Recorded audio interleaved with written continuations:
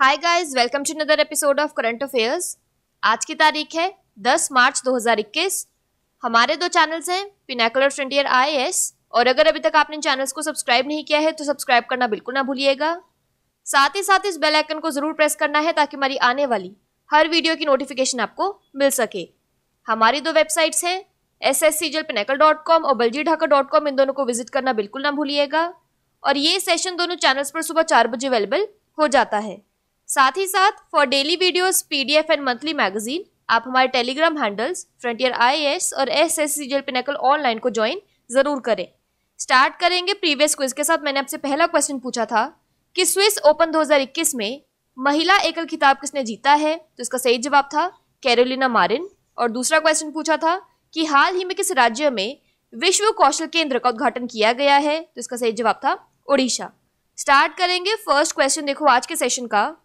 अपराध रोकथाम व आपराधिक न्याय पर फोर्टींथ संयुक्त राष्ट्र कांग्रेस किस देश में आयोजित की गई है? इसका सही जवाब है ऑप्शन नंबर सी जापान तो अपराध की रोकथाम और आपराधिक न्याय पर फोर्टींथ संयुक्त राष्ट्र कांग्रेस सात से बारह मार्च को जापानी शहर क्योटो में आयोजित की जा रही है। यह तस्वीर में देख लीजिए। 1970 के बाद से जापान पहली बार कांग्रेस की मेजबानी कर रहा है। इस वर्ष इस कार्यक्रम को एक हाइब्रिड प्रारूप यानी हाइब्रिड फॉर्मेट में आयोजित किया जा रहा है। आपराधिक न्याय से संबंधित प्रमुख मुद्दे हैं। अपराध की रोकथाम के लिए रणनीति बनाना, यानी स्ट्रैटेजी मेकिंग और कानून के शासन, यानी रूल ऑफ़ लॉ को बढ़ावा देना। बात करें यहाँ पर जापान की तो इसकी कैपिटल है टोक्यो और करेंसी है येन नेक्स्ट क्वेश्चन है BBC Indian sports women of the year पुरस्कार किसने जीता है? तो इसका सही जवाब है option number D Koneru Humpy तो रैपिड फॉर्मेट में विश्व शतरंज चैंपियन कोनेरू हम्पी ने BBC Indian sports women of the year का दूसरा संस्करण जीता है। पंद्रह साल की उम्र में सबसे कम उम्र के ग्रैंड मास्टर बनने वाली हम्पी ने सर्वाधिक मत, यानी मोस्ट वोट्स प्राप्त करने के बाद यह पुरस्कार प्राप्त किया। यह तस्वीर में देखिए।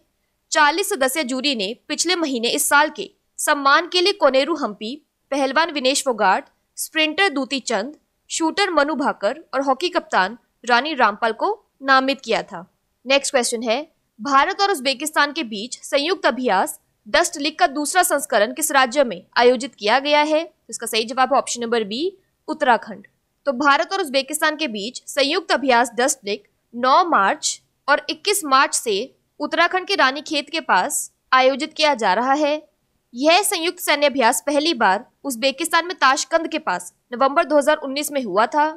इस सैन्य अभ्यास का उद्देश्य पहाड़ी ग्रामीण और शहरी परिदृश्य, यानी mountainous rural and urban landscape में आतंकी कार्रवाई से निपटने की कुशलता विकसित करना है। भारतीय सेना का रिप्रेजेंटेशन तेरह कुमाऊं रेजिमेंट द्वारा किया जा रहा है, जिसे रेजांग ला बटालियन के रूप में भी जाना जाता है।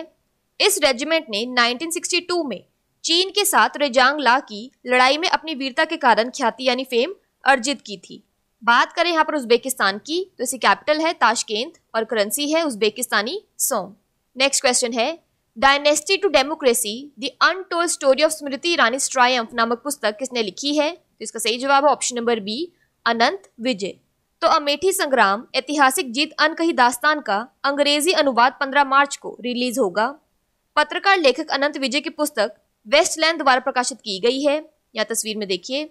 इस पुस्तक में केंद्रीय मंत्री स्मृति ईरानी की 2014 की हार से लेकर 2019 के लोकसभा चुनाव के दौरान अमेठी, उत्तर प्रदेश के कांग्रेस के गढ़ में उनकी जीत तक का सफ़र तय किया गया है। हिंदी पुस्तक 2020 में प्रकाशित हुई थी। नेक्स्ट क्वेश्चन देखो। राजस्थान के डेयरी क्षेत्र के लिए उत्कृष्टता केंद्र किस देश के सहयोग से स्थापित किया जाएगा? तो इसका सही जवाब ऑप्शन नंबर सी डेनमार्क तो राजस्थान में डेनमार्क के सहयोग से डेयरी क्षेत्र में उत्कृष्टता केंद्र स्थापित किया जाएगा। डेनमार्क के राजदूत फ्रेडी सवाने ने मुख्यमंत्री अशोक गहलोत से इस संबंध में एक मीटिंग की। स्वाने ने कहा कि पशुपालकों को बेहतर सुविधाएँ देने के लिए डेयरी विज्ञान व तकनीकी यानी डेयरी साइंस एंड टेक्नोलॉजी के क्षेत्र में डेनमार्क की विशेषज्ञता का लाभ राजस्थान को उपलब्ध कराने के लिए पूरा सहयोग दिया जाएगा। या तस्वीर में देखिए। बैठक में जल संरक्षण व जल शुद्धिकरण, यानी water conservation and water purification के क्षेत्र में भी डेनमार्क से सहयोग की संभावनाओं पर चर्चा की गई। बात करें यहाँ पर डेनमार्क की तो इसकी कैपिटल है कोपेनहेगन और करेंसी है डैनिश क्रोन।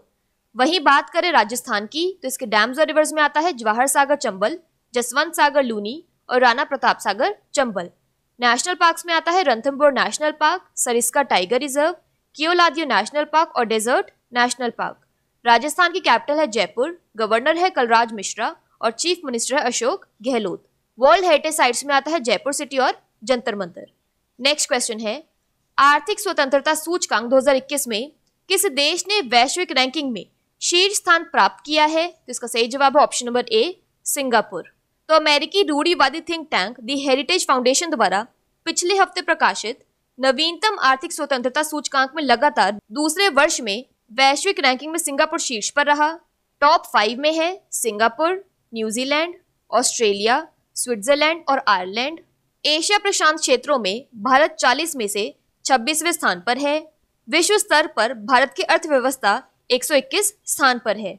नेक्स्ट क्वेश्चन है, हाल ही में किस राज्य के पूर्व राज्यपाल अंशुमान सिंह का निधन हो गया? तो इसका सही जवाब है ऑप्शन नंबर सी राजस्थान। तो गुजरात और राजस्थान के राज्यपाल रहे अंशुमान सिंह का 86 वर्ष की उम्र में निधन हो गया। जस्टिस अंशुमन सिंह ने राजस्थान के राज्यपाल के रूप में 16 जनवरी 1999 को पदभार ग्रहण किया था और मई 2003 तक इस पद पर बने रहे। इससे पहले वह 1998 में गुजरात राज्य के राज्यपाल थे। यह तस्वीर में देखिए।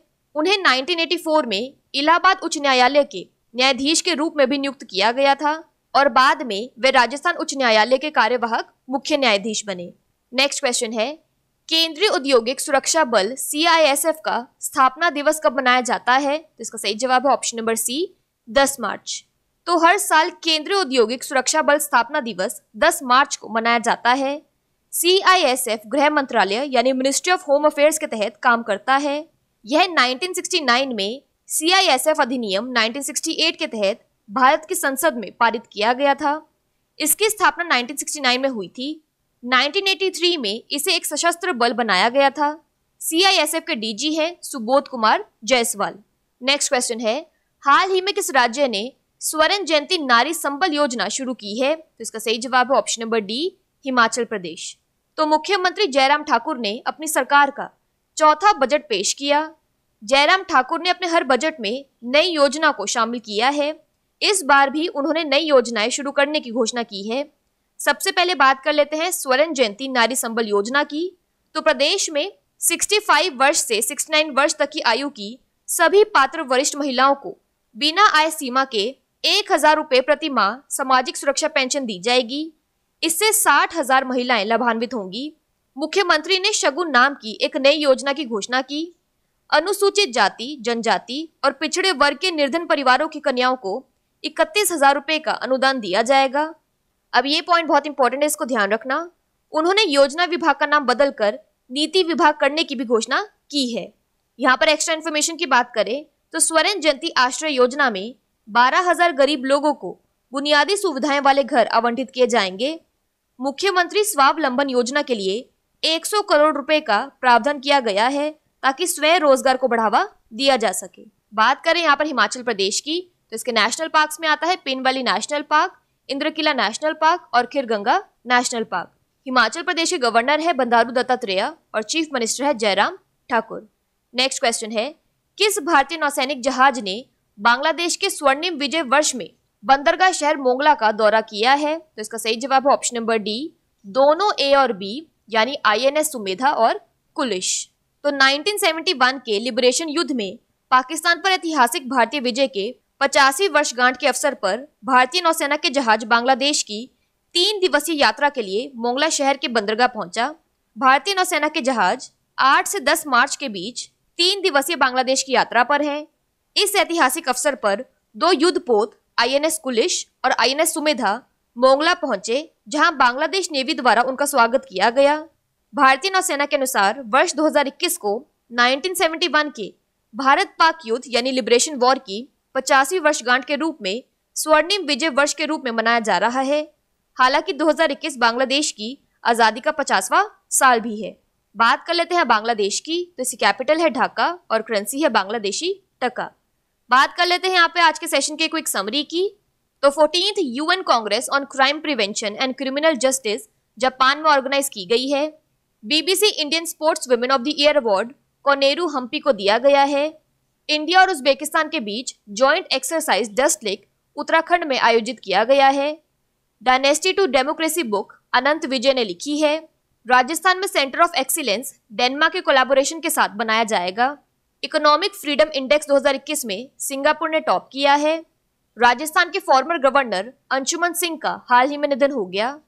सीआईएसएफ रेजिंग डे मार्च 10 को मनाया जाता है। स्वर्ण जयंती नारी संभल योजना हिमाचल प्रदेश में लॉन्च की गई है और आईएनएस सुमेधा और INS Kulish port city of Mongla के दौरे पर हैं। बात कर लेते हैं आज के सेशन के क्विज फॉर द डे की। आपका पहला क्वेश्चन है, आर्थिक स्वतंत्रता सूचकांक 2021 में किस देश ने वैश्विक रैंकिंग में शीर्ष स्थान प्राप्त किया है? और आपका दूसरा क्वेश्चन है BBC Indian sports women of the year पुरस्कार किसने जीता है?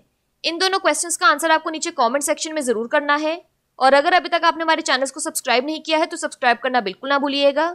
साथ ही साथ इस बेल आइकन को ज़रूर प्रेस करना है ताकि हमारी आने वाली हर वीडियो की नोटिफिकेशन आपको मिल सके। हमारी दोनों वेबसाइट्स और टेलीग्राम हैंडल्स को ज्वाइन ज़रूर करना है। Thank you so much